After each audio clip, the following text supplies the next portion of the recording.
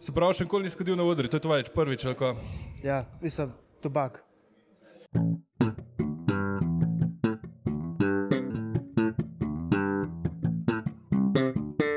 No, uh, danes smo tovarni rok, z mano je komik uh, Matej Žbaloh. Živijo Um, open mic, vsi ostali, pa vsi ostali. Pa vsi ostali gosti se bodo nabirali počasi, tako da uživite v tej blazni gužvi v zadnji, ker se bo zbrala, ne? množica huda, Ja, to je vrsta, si videl. vrsta huda, težka. V Tuni napustimo še noter Varkič, nas- načni Varkič, stari rok, svoboda. Koliko je svoboda pomembna za stand-up? Ful, stari. Meni se zdi, da je to tisto. Pač, če ne bi bilo svoboda na odru, kje bo? Se mi zdi, da glih to je. Tukaj lahko rečeš, kar hočeš, dokler je to okusno, pa dobi smeh. Se mi zdi tako. Tudi če ne okusno, če dobiš smeh, v bistvu pa je to smešno. ne? Ja, mislim, imaš stvari, ki so res lahko neokusne. Recimo, A veš, nimam tako pokvarjene glave. Stari, ne, tam ne recimo, zato smo v rogi, tle imaš tudi feministke, imaš uh, nalimane kao pokrvavljene tampone. Ne? Tako, na Kje drugi so? strani te umare. Stari je prav, da se kleparim. Ja, teh valjda, no. da- Star, to je full cool folk. Ampak so tako, veš, stari To je folk. full, full cool folk, ki Ja, ima ne. parlimljene krvave tampone na Se sebi. niso odpravili po štrihancu, ne? To je bila za neko A, feministična akcija, super punca. Okay. Ja, Lep gledaj stand-up medva, no? Ja, Glavnem, ja. se pravi, tudi če grozen, je smešen. Uh, kdaj si, kdaj te prijel, da začel stand-up sploh? Um, no, vem, enkrat sem tu bil, da bi šel na neke delavnice in takrat slučajno ni nobenih bilo. Edina, ki je bila, je bila Ipša v Mariboru. Pa sem rekel, ne vem, stari, ona je rekla, če bi se vozil v Maribor, sem bil, ne, ne bi se vozil, ampak potem je njena žena pač dala nek uh, link, ki so iskali nekoga na Netflixu. Uh, ne, neuveljavljene komike, za mene se je zdelo, da sem neuveljavljen, ker sploh še nisem bil nikoli na odru. Um, In sem pač poslal nek sketch, in glede na sketch sem dobil, potem jaz pa še en sva dobila pol pol. In uh, prej sem šel tisti nastopati, sem rekel, ok, zdaj moram iti trikrat, štirikrat v desetko, da vsaj ne morem biti prvič na odru nekje, kjer sem plačan. A za Netflix bil že plačan? Ja, za Netflix sem bil že plačan. Pa, pa tudi ne, ne slabo, pač za prve nastope tako, Ja. kar, kar v redu. Super, Ja. stari. Ja, ja, takrat je bil budžet za 2 Jurja 200, pa bilo je 8 nastopov. Tako da je bilo, tako full hiter sem bil na tistem nivoju, kao, vse to se pa sluša, veš, pa, pa Ja. pride v nivo, kaj ono. Čak, kje so zdaj kakšni plačani nastopi, stari, veš, tako nobenega. Ja, v glavnem, ti sem takrat dobil še z Džamastagičem, uh, sva, oba sva imela isto idejo no, na, na intervjuju, da bi lahko bil še en zraven, da ni samo en. In so na, na podlagi tega pa, pač izbrali In pa sem začel, pa sem šel en teden v desetko, drugi teden v desetko, tretji teden v desetko in se je začel. Pa sem bil hupt za, tole Ja, na odru. tako. Ja. Stari, sem kako pa ti rad ali tukaj, da bi dobiti termine, ne? ker uh, za open mic veš, da je gužva totalna. Takrat ni bilo. Ne Kdaj, kdaj si ti, ti si začel uh, zdaj? februarja. No, lej, zdaj je res težko dobiti open mic. Zdaj, če nisi na mailu konstantno, boš izpadel. Maš, mislim, jaz sem recimo letos polet izpadel, kljub temu sem pa dvakrat nastopil, ker je folk odpovedal.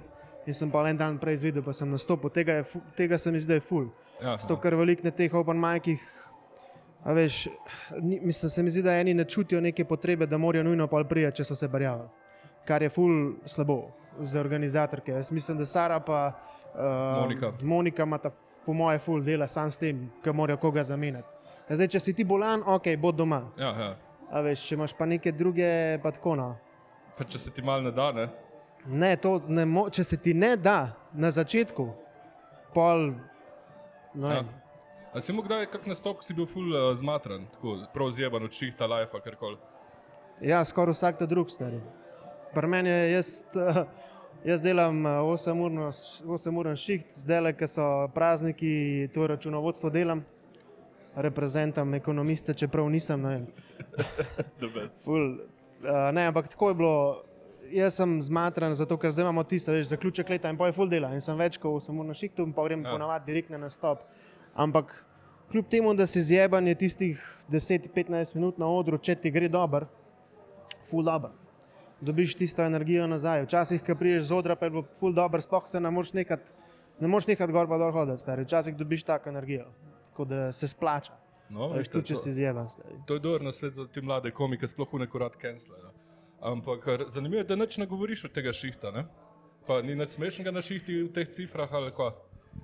Ne, jaz imam eno sodelovko, ki sem se pol preveč, uh, preveč na njo spravil. A Ja. In nisem hotel, da bi preveč v tej smeri šel. Po mojem, da bom še uporabljal kaj, ker je pač tam, kjer jaz delam, to je znanstveniki.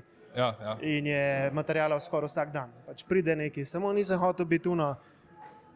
Samo neki iz mojega življenja, jaz sem hotel, ne vem, bolj, bolj se mi zdi tako, jaz se pritožujem. Zdaj, karkoli pride na to, se bom pritoževal. ja sem velik pa v svojih nastopih, recimo, žlahto obedjaš. Ne?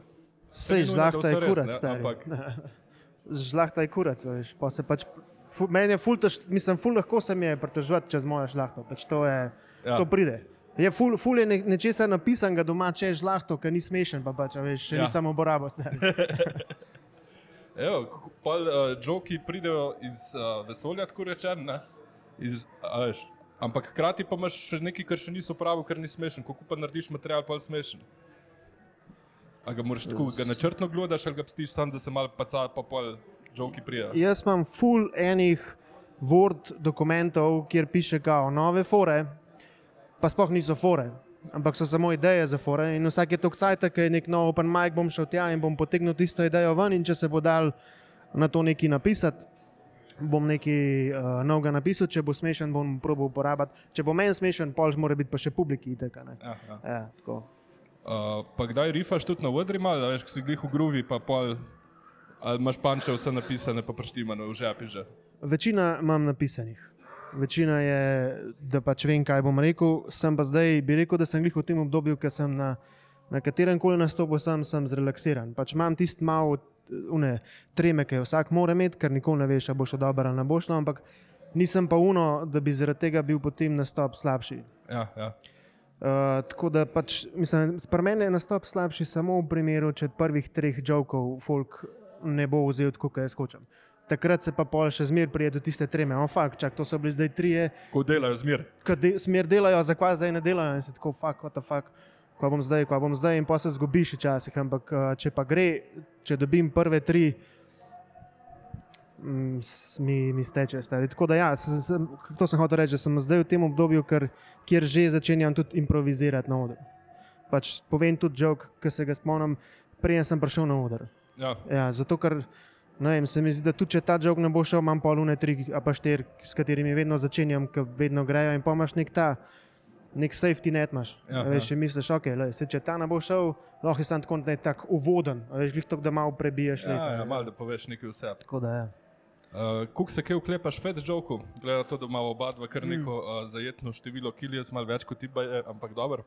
Uh, Uh, ti tako, a veš, neka zihraška fora, ker so očitni, a veš, okay, jaz imam en fat joke, ki ga še zmeraj uporabljam, s tem kider jajčka. Ne? tako s kinder jajčkom. Ga ne bomo izdal priti gledati balo, na njegove nastope. ja, ful je tako, ful, uno, na nivoju. Joke, tako za inteligenten za popizditi. Res. ne, um, ne um, mislim, jaz bi rekel, da, da se teh fat jokov izogibam. Ja. To pa samo zato, ker ko sem jaz začel, sva s tem Markom šla okrog po Sloveniji. On je rekel, da mu gre najbolj na živce, če, ne, če en debel človek govori o tem, kako je biti debel. In sem bil tako, takrat sem bil jaz tako. On je bil ta prvi komik, ki sem ga spoznal. On je bil ta Aha. prvi tako, ok, ta je že dve leti v tem, on ve, o čem govori. Ja. In sem je to tako usidral, da sploh ne pišem o tem. To s kinderjačkom je slučajno prišel. Ja, veš. Pepel imaš na levi nosnic, zdaj ga imaš pa že tle v lufti. Dobro, ja. Uh, ja, se pravi, se jim izogibaš. To, a zga kdaj to tudi ga obrnil, da bi govoril o tem, kako je biti suh človek? Do zdaj le ne. Zdaj ti bomo ukradli idejo. ne, ne, ne. Izvajaj, stari. ne, ne. Ta je drugač kul cool premisa. Cool premisa, tako da jo Lahko kar gremo stari izkoristijo. rifat danes, medva. Veš, kako je fajn, če si suh, stari. Veš, ko ti hlače tlo vmes napočijo. Uno, ko hodiš, pa se ti. Pač te stegna se ti ne drsnejo, veš, drgnejo med Ja. sabo, stari. A veš, zakaj mi ne laufamo, mi te debeli? Ker ne moreš, ker imaš tukaj vse unet postati. Ne moreš, dejansko ne moreš. A to je veš, je fizično. dober. Kdo? Ta baby powder, stari, to bi kolesarjem povedal. Jaz sem v hribo čas hodil, se mi tako zmer zažgane. Ja. Baby powder daš, čik, čik, pa čau, pičiš. Stari, nimam otrok. Še. Še, ne, tudi ne vem, ne, kaj V redu, pustimo zdaj to, vrnemo se k komediji. Sorry. Uh, nastopaš debelo leto, ne? Maja bo dve. Ja, se pravi, debelo leto. Debelo leto pa pol. Uh, ne, ne vem. Nisem se došla bolj skozi, ali pa čovki pa na debelo leto. Uh, ko, ko recimo, Ne, nisem, nisem sploh, nisem sploh da si sedel. malo še tudi zmagal. Ja. Uh, ko recimo si zdaj v tem letu pa pol spoznal, ker bi si dal tudi na svet na začetkih izbil, kjer stvar bi najprej spremenil pri svojih začetkih. Uh, Uh, okay, kaj bi spremenil? ne, Spremenil, ga tazga naučil, karkoli. mislim, naučil sem se ful. Prvič uh, to, da s kilometrino res dobiš, dobiš samozavest. Če si na nastopih, kjer ti gre dobro, dobiš samozavest v sebe in potem tudi samozavest v žovke. Tudi to ne pomeni, da so zdaj vsi dobri, ampak ti si samozavesten, kar se pozna na odru in uh, to vidi folk. In to je ta razlika. Ker tudi, vem, jaz sem en žovk, ki ga en izmed prvih žovkov, ki je v bistvu neka zgodba, ki gremo s kolegi pit, ki zdaj ne govorim več. Uh -huh. Ampak sem jo pa zanč nekje bili, kjer sem jo mogel, ker je bila pač taka publika. Bili smo v Moravčah, to je na kmetih. No. A veš, tam ne moreš govoriti o incestih, pa o raznih črnih temah, tam moraš biti pravi, smešen. njihove domače teme tam, ne? Tako, ja, nekaj, kako, se, kako si bil pijan in kako se tepaš, in kako, tako na to ja. sceno. In ker sem jo zdaj povedal, je šla še enkrat bolj čez, zato ker sem jo še bolj odigral. Se pravi, Mm. vse, kar poveš, če znaš še to dobro odigrati, pa z mimiko na facu narediti, to je tisto, kar bi si sam na začetku rekel, deli več tega. Po drugi strani pa to dobiš samo z kilometrino, ker si tako zihar na odru, pa tako sproščen, da se tudi v to spravaš. Eno stransko vprašanje za na hitro. To sem te že zadnjič mislil vprašati, pa sem te pozabil. pol. Ko imaš ti v glavu stari, ko razlagaš žoke, ker una čustva, ki jih tam igraš, ne, zgledajo fucking pristno, una so tako, ti imate največ tako, ne, tako res, ful uporabljaš mimike in ne tako na igrano, ne, Ja. zelo organsko. Ko imaš ti tudi v glavu, ko to razlagaš žoke? Ne vem, jaz bi rekel, da, sem, da pač se tako uneto spet v isto stvar spravim. Ker ponavadi govorim o nečem, kar mi gre res na živce in to, kljub temu, da sem že tokrat govoril, mi še zmeraj gre na živce. In mi to po moje pomaga. Okay, lej, to mi gre še zmeraj na živce, stari. Meni gre sodelovka še zmeraj na živce. Meni gre vem, na patrolu, ki čakaš v vrsti, še zmeraj na živce. Ne, pač, in, in to ne more ti ne iti, veš, mislim, Ja, ja, more, in zato se pa skozi lahko take stvari užviš. Sprav govor žoke, ki ti nekaj pomenijo. Ja, ja pač vsak ima nek svoj stil, ki ga moraš najti in to kar nekaj cajt iščeš. Ne? Jaz tudi še nimam zdaj, da bi rekel, se mi zdi, da vem, kaj je moj cilj, nimam pa še vsi, vsi moji žoki niso z tega, z tega stila. a ne. Zato, ker so pač bili prej napisani iz tam, kjer se iščeš. Jaz mislim, da zdaj jaz sem dober v tem, da se pritožujem. In dokler se bom čez neki pritoževal, tudi če, je moje, tudi če nekaj rečem, kar ni res. Veš, tudi če je nekaj, Ja, ja, ja. ja. ki se tudi slučajno ne strinjam s tem. Ampak če jaz se na nek tako, da se pritožujem, da mi bo res, mislim, tako Ja, ja, mi ja. steče, no, to, to mi je najlažje. Uh, si glih omenil cilje, ko so pa tvoji cilji? Moji cilji, ne vem, mislim, jaz, glih, glih včeraj sem gledal, ko sta imela intervju z rokom, ki je rekel, da nima. Da je tako malo, ja, da, on nima ciljev, on je tako. Ja, on, Ja. on ima pot, on ima pot. On ima pot, on gre po tej poti, ampak ne ve, kako ta pot gre. Ne. Jaz sem, jaz sem podoben, ampak se mi zdi, da cilj je, da še zmer, čez pet let še zmer to delam, pa da mogoče od tega živim. Tako kot je nekaterim v Sloveniji že ratal. Uh, to je moj cilj, čez, čez pet let. Pa da imam mogoče svoj šov, mogoče uh, pet let, ja, pet let lahko bi imel že svoj šov. To. Govorijo o eni urci? Eni urci, sej, zdaj, jaz zdaj le imam, po moje, 40 minut materijala. Samo ni pa to material, ki bi ga hotel na svojem šovu govoriti. In tako da zdaj sem se že približno odločil, kakšen bi moj šov bil, da zdaj, lahko pišem žoke, ki bi v ta šov pasale, Se zato pravi, da jih lahko probavam. Že v kosti narejeno, kazalo, napisano, tako rekoč. Ne? Ja, vem, kaj, kaj, kaj bo premisel. Top tega stari. nastopa, mislim, in potem skozi kaj nekaj gledam, skozi ne vem, jaz berem razne članke, potem na kakršno koli temo in ta tema se ujema s tem, kar bom tam govoril, in potem bom lahko naredil šov. A že imaš naslov, ko seveda ni baloh, ampak tako, ki je nek naslov. Tako, mislim, ful je dolg naslov zdaj za enkrat. Ok, pa bi ga povedal, da ga no kjer spis.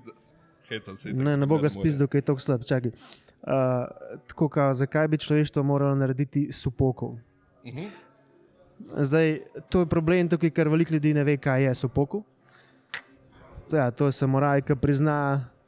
Ja, časno se ubije, Časno se ubije, pač ker je zajebo, Ja. Ja, ja, pač premisa mojega nas- nastopa je pa, da je človeštvo zajebalo in bi enostavno mogel reči ne. To je to. Na smešen način. ne tako, da boste videli tako. Ja, ne boste videli tako, pač, oh, fuck, stari, prav je imel, stari. tako, vsak, Sponzor, noži, katane. ja, ja, po, po, tako pod zicem boste dobili špago, stari. Se nis opera. Everybody gets the samurai sword. Everybody gets... ja, vsi. Kako se reče tem tam malem noži, ker ima prav posebej ime, ko delajo se poko z njim. Tam se pozabo, kjer je. Vidiš, moj research še ni šel tako delaš, še, še ni šel tako delaš. V glavnem, sumo borbam bo naslednjič nadaljeval, ker bo, bo po letu gatih, ne? Buh ne da doma snimal. Čeprav to bi tudi šel lahko, ampak dobro, pustimo. Lahko bi šlo. Telebajski. Telebajski. Ne, sumo, sumo mi je bolj všeč. Tako manj moraš kupiti, da si lahko oblečen kot sumo. veš. Telebajski to Ja. ja. moraš že kar neki se To, skeširati, ja, stari. to, to je pa. Tam daš pa sam tako neko rjuho, veš. Bolj ti kurac. Ja, Pa čop okay. si moraš ti. Uh, greva nazaj na joke. Tam si rekel, da imaš folder, ki imaš uh, nove fore, ki jih probaš na open micih. A si prvo kdaj te začetne fore, si se iskal, zdaj napisati na nov? Ja. Tiste, a ja, misliš te, ki so že delovali, da bi jih še Ne, enkrat so, ja, ki so že delovali, da jih razpišeš, a veš, odigraš karkoli. ne. Ali pa v nek si stran fukne, da bi rekel, pis, da ta ideja ni slaba. Ne? Ja, jaz, jaz, sem, jaz mislim, da ko grem na kakšen nastop in kjer je žog, ki ga že dolgo nisem govoril, kot si rekel, te od začetka. Ga jaz preberem in potem ga na novo napišem V zdajšnjem prvič jeziku. v zdajšnjem jeziku. Zato, ker prvič približno bolj veš, kam moraš panč dati. Uh, Medtem ko nekaj prepisuješ na nov, ti v glavo, ker ti se kljub temu, da prepisuješ si v tistem elementu pisanja in ti takrat pride neka ideja, ki jo lahko vmes urinaš. In tako pol, ne vem, neki žoki iz emu, punchline lahko pridejo na 3-4, zato ker si še enkrat prebral, pa še enkrat videl. Plus se mi zdi, da meni najbolj to deluje, da jaz napišem, pa bom tudi, se mi nikoli ne bo zgodilo, da ne bom znal, Ja. da bom kle gor, pa da bom zmrznil, ali pa da se ni nečesa ne bom spomnil, zato ker sem to napisal danes. Tudi če je bil nastop, a veš, Ja, ja. tako, tako da to, to, to delam. Glih to, kar sem ti zdaj govoril, smo šli v Moravče, jaz sem tisti žog ja. prepisal na nov. In sem ga na nov način povedal, in je bil zato tudi boljši. Ker dobiš kilometrino, ki je takrat nisem imel. ne. Ja, vse glih to, vse glih Ja. to. In to v leti pa pol se full hit, mislim, že na začetku tako full hit napreduješ. Danes imamo, ene, imamo dva, ko nastopata prvič z unikamnikom. Ja, ja. Znari, in to, če gledaš pet minut materijala, ste naredili. Ne? To je hard. Ne? A je zdaj narediti pet minut materijala v enem tednu. Mislim, da ga lahko naredim pol ure, sam na dober. Ja, vse glih to. Ne? to, to je ta razlika. Je, pa, ja. V glavnem, zdaj tam pride hitreje to, ampak ja. upamo, ne? upamo, da še hitreje pol. Upamo, ja. Samo je pa jasno, da je napredek počasneje izmeri. Jaz sem še zmeraj v tej fazi, ki še tudi slučajno ne vem vse. Jaz se mi zdi, da ful, ko gremo na te nastope, pa so potem ti komiki, ki imajo neke izkušnje za sabo, veliko več, kot jih imam jaz. Pa ti neki noga povejo, skoraj vsak nastop neki noga zveni. A Tudi če mi ne povejo direkt meni, povejo nekomu, ki je novejši, kot jaz, pa sem jaz tako, oh, fuck, jaz tega ne vem. stari." Ja. Tako, oh, tako sam zraven, ja, ja, ja, ima prav, kar je zdaj povedal, uh, se strinjam. A se to zapišeš pol? Uh, ne, jaz se, jaz se kar stvari zapomnim, ker jaz imam tako, da vsak drug dan uh, malo probam pisati. Vsak drug dan imam tako eno uro za pisanje. In pol ali prepisujem, ali uh, tiste, ki sem že, ali probam sestaviti, probam pogledati, zakaj bi bilo lahko bolj nekje. Tako. tako da si zapomnim tisto, kar mi je en, en dan prej povedal, Nice, pa to uporabljam. Ja. A si ti te bloge študiral, pa uh, tuje komike mora biti? Si, ne? Jaz sem to študiral, da sem pa- me, ti mal gledal, a? Tudi. Jaz sem, jaz sem toliko teh uh, na svetu, prej sem šel prvič na, v desetko nastopati, da mi oni rekli, da imamo v desetki pet minut. Sem jaz Saro en dan prej pisal na Facebook, da imam 5 minut pa 15 sekund, če je to v redu. In tako Sara meni, ja, Okay, v redu je. Tako 15 sekund, veš. ker v tujini ti pač ful. Uh, To sem jaz bral, veš, ti za ti začnejo z lučko. Ja, ja, ja. Kao predolg si, a veš, spizi dol z odra. In jaz sem bil tako, nočem, te, da se to zgodi, ker je glih tam tako pisal, kao, spoštuj druge komike. In jaz ja. sem Ja. tako, ok, bom. In pa se doma zmeraš tako 5 minut, 15 sekund, pa ne moreš nič stran dati. Pa sem bil tako, fuck, kva ne dam stran. Čeprav zdaj, ko gledam, bi dal lahko ful, ampak Ja, takrat ja, pa ne. a pa ne. da, ne. Ja. A je bilo kaj, uh, dlje pa nastop od 5 minut pa 15? Če je bilo, kva nisem. A Veš, fora tem, da tvoj cajt, ko se štopaš doma, a si delal pauze za smeh. Ja, jaz sem uh, zelo optimističen človek. Tako da sem, Po sem, 4 minutah je bil fertik. sem dal, tako, sem dal te, te pauze za smeh. Uh, ja, sem dal te pauze. Sem rekel, bolj da grem prej dol, kot Ja. kar uh, kasneje. Tako je bilo. To je kul, cool, stari. To je Ja. dobro, to je dobro. Ja, veliko znane, ko ga prebereš, je tako fajn, ne? sam pa, pa priješ na oder, je pa situacija čist druga. Si kdaj zmrznil na odri? Prej si rekel, da zdaj ne več, ampak v preteklosti. A to, če gleda, kak mlad komik, da mu ni full bet. Ne? Zmrznil sem na Open Mic, ampak ne zmrznil pozabil, ampak ker sem imel za sabo zvezek, sem prebral in sem šel naprej. To, tako, nisem pa bral, da je bilo zdaj tako pol ure tišina, pa tako pet minut tišina, pa minuto tišina, ni bila. Samo jaz sem bil tako, fuck, kaj je zdaj naslednja stvar? Zato, ker na Open Micih imaš ponovadi nove fore ja. in nimaš.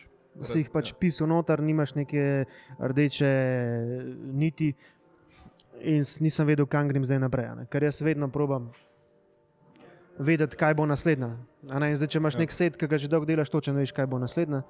Tudi če neki notorinaš, veš, ok, zdaj imam nekaj novega, med tisto, kar sem že skozi smel. Medtem ko če imaš pa neke te nove fore, pa ja, se ti lahko zgodi, da pozabiš. Zato jaz predal pa majkom, en dan prej grem čez, pa še zjutraj pred šihtom grem čez, zato da imam to v glavu. Se pravi, danes svet, ko ga boš povedal, že zdaj točno veš, kaj boš povedal. Ni tako, da malo improviziraš, že zdaj pa daš kak jok iz moralčne, če slučajno paše ali pa kaj tasga. Ne, ne bom rekel, da ne bo improvizacije. Ja. Um, mislim, da je edina večja možnost, da bo, zato ker vem, kaj bom govoril. Če bi bil ja. jaz, ne vem, kaj bom govoril, potem tisti cajt, ki bi ga lahko porabil, da razmišljam, kaj bi lahko še vmes rekel, porabim za to, kaj bom pa zdaj sploh povedal. In če jaz vem, kaj bom govoril, lahko mi sploh še improviziram. To je kul, cool, ja. Ja. To je cool. A si že gotovo zdaj, ko analiziraš te svoje posnetke, a, veš, na, na odri se ti zdi, da je tako 20 sekund tišine, ko gledaš posnetke, tako 2 sekunde tišine. Ta relativno čas, ki si na odri malo drugače teče. In tako vsak, uh, ki gledaš tako sebe, je tako cringe moment za Ja, vsakega itak. stvari. Uh, ampak se mi zdi, da jaz sem opazil, tako ne vem, te kamere ne pobirajo smeha ali kaj. ampak, ko si na odru, se ti zdi, da, da je folk umiru. Pa, pa tako gledaš posnetek, pa tako, kva, da, kje so imeli mikrofon, a veš, a ga je imel ti po žepu, stari. Ja, ja. Pa, pa če gotoviš, da ni bilo tako dobro, kot si mislil. Tako se mi zdi včasih, da na kameri vidiš bolj, kot si videl gor na odru. To delno je res, ampak delno je tudi res, da te kamere ne, Ja. zvočenje pobirajo. Ne? In unko se folk tam smeji, se jih ful sploh ne sliši.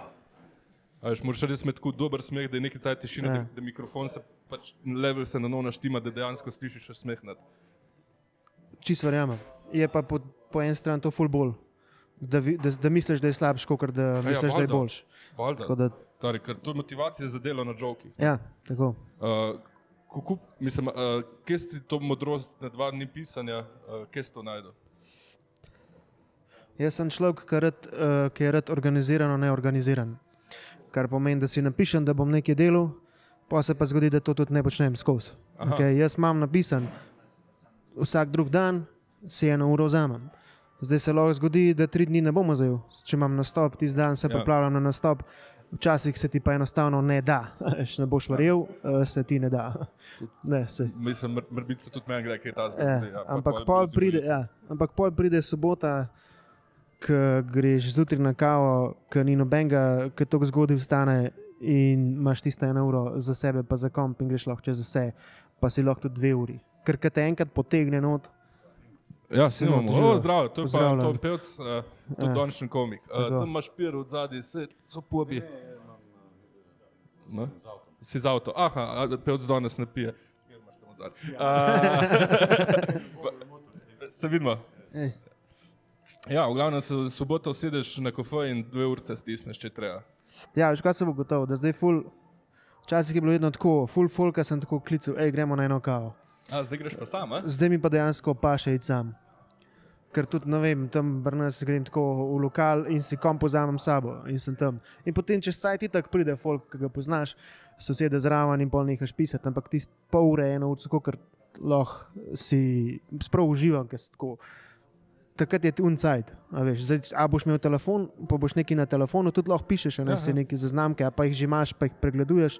Če imaš pa komp s sabo, sploh zdaj, ki lahko kamorkoli vzameš komp, pa imajo Wi-Fi, pa karkoli, da lahko tudi kaj prek nita pol prebereš, se mi zdi, da mi to prav paše. Tako. Pa rabiš biti spočitu glavo za kreativnost. Oh, stari včasih rabiš biti spočit, včasih rabim biti full zjeben. Ko bolj ko si zjeben, bolj si tečen, lažje se pritožuješ. A, dobra, Uh, včasih, je fajn, včasih je fajn biti tako po ene, dveh, treh perih. Ko si prišel iz, ne vem, iz pijače s kolegi, pa si tako, pizda je en par dobrih, sem vmes rekel, da imamo proba to jog dati. In takrat lahko full spišeš, pol naslednji dan popraviš vse tiste napake, če je že, pa še je, ki so, ja. Ja, ki so neki drugega. ja. Ampak ja, čisto odvisen. No. Čist, nisem, ni tako, da bi zdaj rekel, da moram biti spočit. Ne, odvisno. Prav lahko pišeš kadarkoli, sam rabiš nekaj, da te prime. A iz z lufta že znaš pisati žoke, se tega kdaj lotil? Z lufta Ja, misliš. tako da bereš delo, pa rečeš, aha, to je pa žok. Ja, mislim, jaz imam veliko, ne vem, imam neko temo, ki jo na netu preberem. Mhm. Um, ne vem, naj si bojo neki klik zam, če sem nekaj gledal, matricit, patricit, veš, kam imaš, ubiješ mata, pa ubiješ Ja. ja. fotra. In glede na to, pol probujem napisati jok, preberem, mogoče najdem kakšen primer, ki se je zgodil, da bi bil tako, da bi ga lahko v jok spremenil. Pač Ja, ja, ja. se mi zdi, da meni pomaga, da jaz nekaj preberem, pa na to dam svoje mnenje. Ja. Tako da ja, imam neki pritoževanje čez vsakdanje stvari, pa imam pritoževanje čez nekaj, kar sem prebral na netu. Tako da ja, mi pomaga to, da nekaj berem, pa napišem na to žog. Koliko pa social medija ti uporabljaš? Oh, stari Facebook, glih to, da imam uh, to smešnice, ki pišejo smešnice. Vsakič pozavem, kako se reče, klub za ljudi, ki pravijo smešnice, To je to? ker moraš biti na tekočem. Čeprav ni veliko objav, ampak Ja. ja. so, so kakšni nastopi. Ali pa čez pet minut, ampak Ja. ja. Ja. In to hočem biti na tekočem, če slučajno pride ponudba, probam ne vedno ta prvo napisati, kar je ful težko, kar jaz po mojem eden izmed prvih vidim. Napiš, In sem tako, ne, nočem biti unka, vsakič reče. a veš, valjda. Le ga ta je spet ta prvo napisal, ta je spet ta Hitri napisal. prsti, si to bila še pri milijonarji. Ne.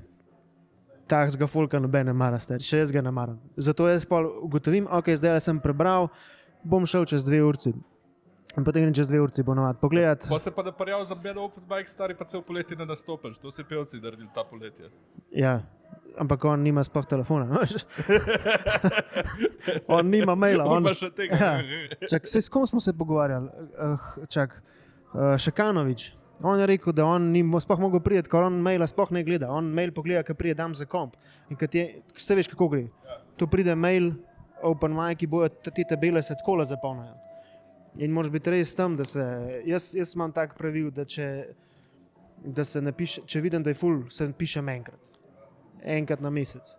To se mi zdi Ja. tudi zdaj sem ugotovil, da je najbolj. Ker ti dejansko, če imaš neke nastope, vmes tudi ne najdeš toliko cajta, da bi nekaj nove skozi, nekaj novega napisal, pa nekaj dobrega novega. In je en mesec glih tist za mene, da rečem, ok, zdaj imam pa to, da grem lahko na open mic za 5, 6, 7 minut. Nisem pa dela zmer čist, čist nov material na open micih. Ne, nikoli čist, čist noga. Jaz imam vedno sendvič. Tako kot smo sprav začnejo z nečem, ki vem, da deluje. Začnejo z nečem, ki vem, da deluje, pa zaključim z nečem, ki vem, da deluje. To je, za, to je zaradi dveh stvari. Prvič, ker itak sem, pač ti si bolj samozavesten pol. Ker veš, da imaš nekaj, kar deluje. Nisi na open micu čist na suho. Meni to zdaj zaenkrat, če pomaga. Jaz vem, da tudi če ti so mes kaj na nov, ne bo dobro, vem, da sem začel dobro, pa da bom zaključil dobro. In si bolj samozavesten. Ja.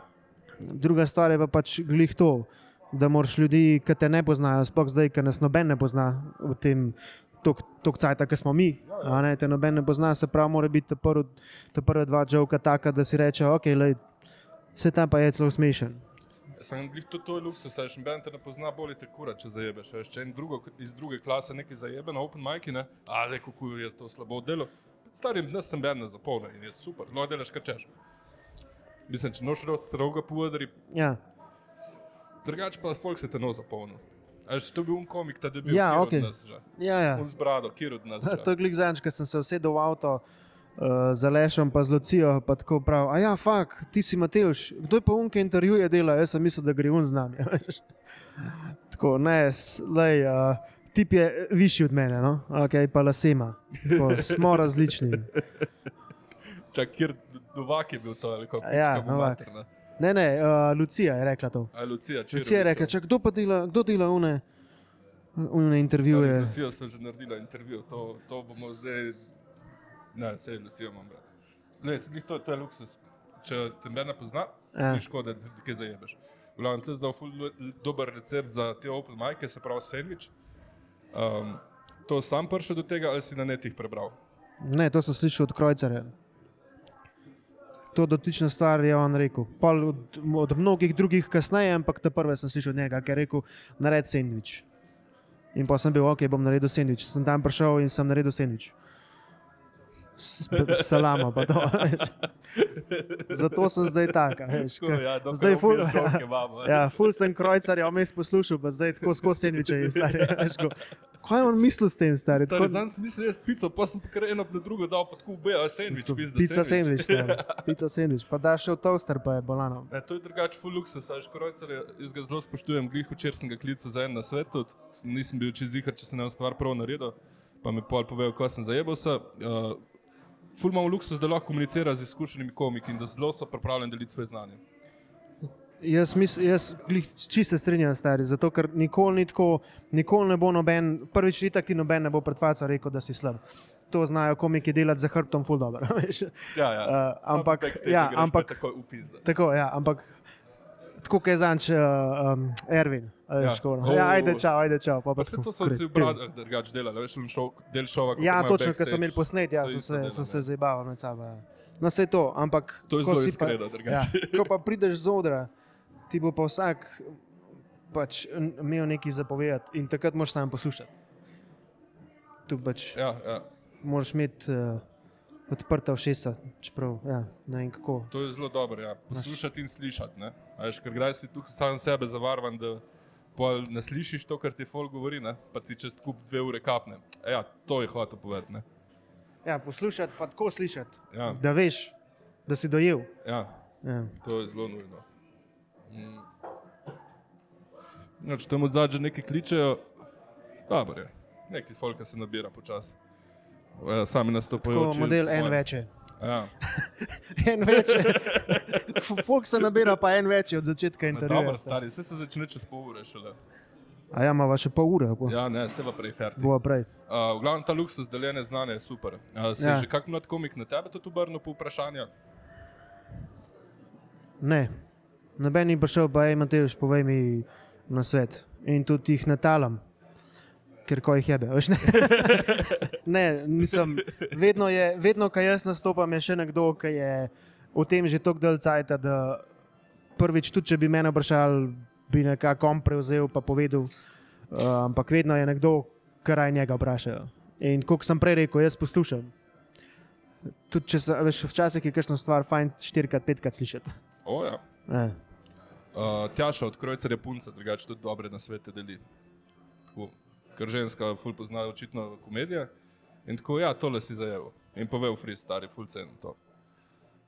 The best. Se zato sta verjetno skupaj, Normaš, ja. ker sta oba direktna. Ja, to, to je Premaš, to si zajebil. Ja. Ampak dobro namerno. Ja, ne, se to je to. Veš, Ja. hočeš, mislim, kakšno je drugače rast, kot to, da odpravljaš napake in krepiš svoje močne točke. Ja, tukaj moraš, tukaj moraš uh, kar malo uh, svoje ego doma pustiti. Tako, ki greš v fitness, pa misliš, da boš na enkrat odzignil isto ikle. Vsakič pomalo. Tako. So nastopi, ki ti ga napumpajo, pa so nastopi, ki ti ga čist pustijo. Ful težko je napumpati uh, samozavest, kot jo je lahko hitro spustiti. O, ja. Ko imaš kakšen slab nastop, si tako, kvada, fuck, jaz delam. stari." to je bilo zdaj res slabo. In pa se dve ure voziš nazaj do doma. Ja, In vsi ostali ti govorijo, je fundara publika je bila tako, fuck, pizda, res ali kaj? stari, no, ej, to je ena izmed unih stvari. Najboljši, občutek v avtu je, ko so imeli vsi dober šov.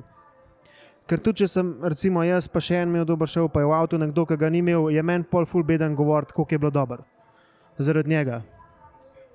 Ja, v videu je. zelo. Ja. Ja, to mi je tako. Če, če, če nismo imeli vsi dobrega šova, pol, pol smo tih. Pač nič ni tako, koliko je bilo danes dobro. Ja, ni bilo danes dobro, on pa tako. Ja, Ja, uh, topli je bilo v backstage. Ja, ja. ja the best. Um, stari, ti le dobro nastopi. Vse smo bili odsmaki, ne? smo bili mi na zadnje. Stari, ti ste bili res dobro, dule z rihtom, mat, done, dule, dobro. D- Jaz sem duleta, mislim, da zdaj drugič videl nastopati. Enkrat, ko smo bili na črnem, ki ima kar, kar črne. Uh, tukaj je pa zdaj povezval in je mi bilo všeč, ker je naredil tako, da je imel prijem, je prišel ta prvi komik, je on tri žoke probo, rekel je, bomo šli od, kot da bi rekel, ja. od belega do sivega do črnega. Ja. In glede na to smo vsi stali, če si poslušal, če si bil tam, vedel, kaj je danes publiki smešen. A je publika za črn humor, a je publika za nekaj drugega. In pa tudi tako, pač se mi zdi, da smo imeli vsi ogreto publiko, ko smo gor prišli. hard dobro. Ja. Ja. Ja. Um, ja, te, mislim, njegov humor je tako upper level. No. Se vidi, da ima kilometrine, dec pa da ful razmišlja. No. Uh, to pa tudi, recimo, si rekel, gledati prejšnje komike. Ne? Na začetku, ko si pač čist na začetku, si tam v backstage in nekako greš čez svoje zapiske, še ta zadnjič, ker da si še kaj zapolnil. Ja. je bolj, da se še enkrat prepraviš, ali ti je bolj gledati publiko, da vidiš, na ko se palijo, pa kje so oni kotički, kjer se začenja smeh. Ta prvih deset nastopov je bilo tako, da sem se pripravljal vzad. Bil v neki sobi, kjer ni bilo nobenega drugega na odhodu, gor pa dol pa razlagal.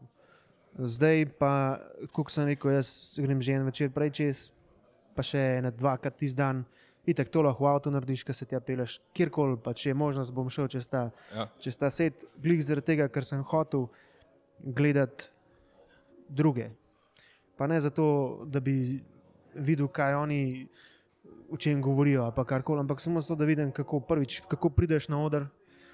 Ker to full folka na robe naredi. Jaz sem to na začetku full na robe delal. Jaz sem prišel gor, sem prišel do mikrofona in potem, ko sem šele pri mikrofonu bil, sem se s publiko sploh prvič videl.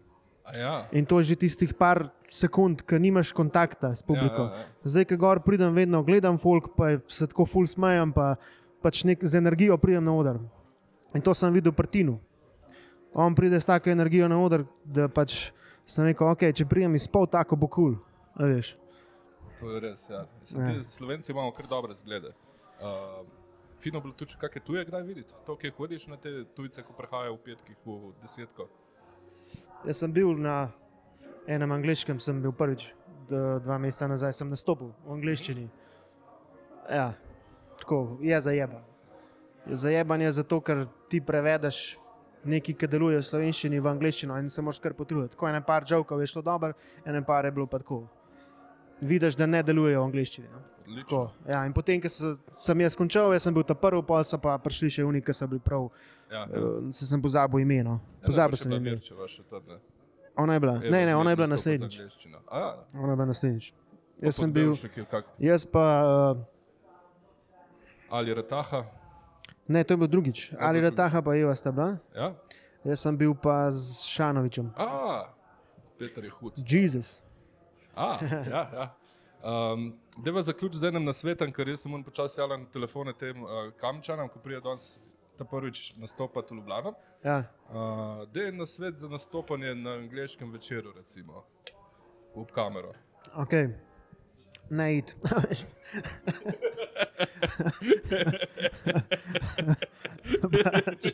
To, ne.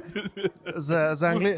Ja. Mislim, to ših celotne Ne. komedijo črte, okay. Ki se vidimo. Čau. Ne, Ja. Ne, za angliški večer vam ne morem dati na sveta. Okay. Kot da pa Uh. uh, lahko mladen komiku, recimo, če si predstavljaš, da dva prijeta danes na oder, ta prvič iz, izven domačega teritorija, Ja, na svet bi imel. Okay, moraš na pamet znati, kaj boš govoril. Za prve parkrat moraš na pamet znati, ker ne misliš, da boš improviziral, pa ne misliš, da se boš kar spomnil, ker si tako živčen včasih, da se ne boš.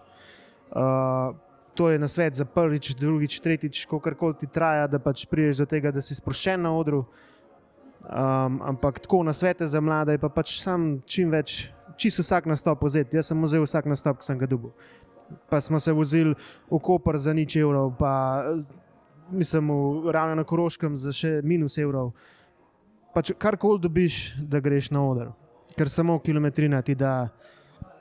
To je res. Ja, to, je- to je najbolj, najboljši na svetu, je tega, da ti da kilometrina. Tako bom rekel. Ja.